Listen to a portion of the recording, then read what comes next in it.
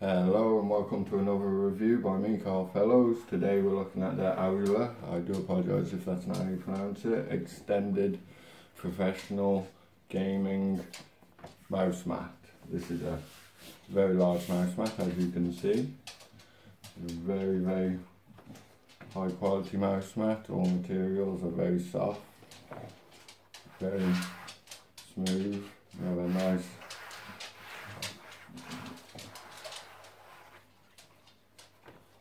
finish on the bottom that provides good stability so that your mouse mat will not be moving anywhere during use.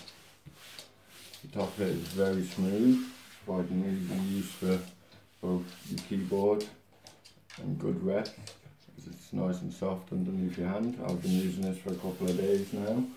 It's a very nice mouse mat. I um, have my gaming mouse which over effortlessly. Effortlessly, sorry, I do apologise. The approximate size of this is 27 by 12 inches.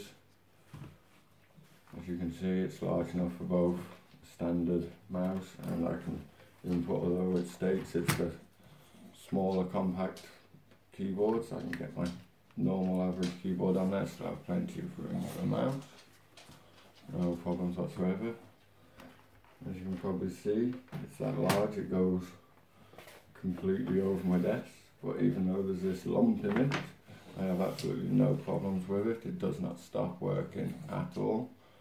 Thanks to the mouse mat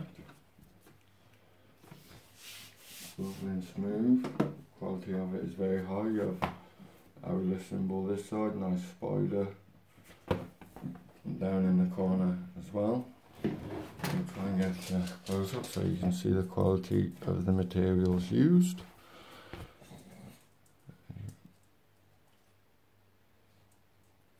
Nice. Very smooth. Very easy to use. I do photography, I do a lot of imagine editing, tweaking and modding. A couple of different extended mouse mats and none of them have been quite as large as this and although I keep my keyboard on tray I do like to be able to run the entire desk and this provides that more than adequately. Very very well designed, there's absolutely no problems with this whatsoever as you can see.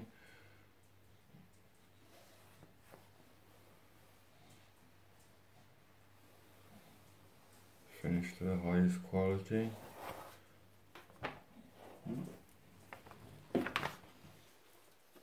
I rate this mouse mat very high.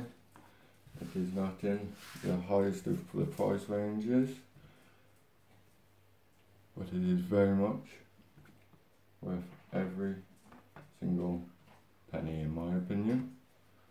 This is just my unbiased opinion after using it for a couple of days. As you can see, even after a couple of days use, everything is still perfect. There's nothing wrong with it. The symbols or none of the patterns started to fade or anything like that. Very impressed. I hope this was helpful in some way or form. Thank you very much. Carl Fellows, and goodbye.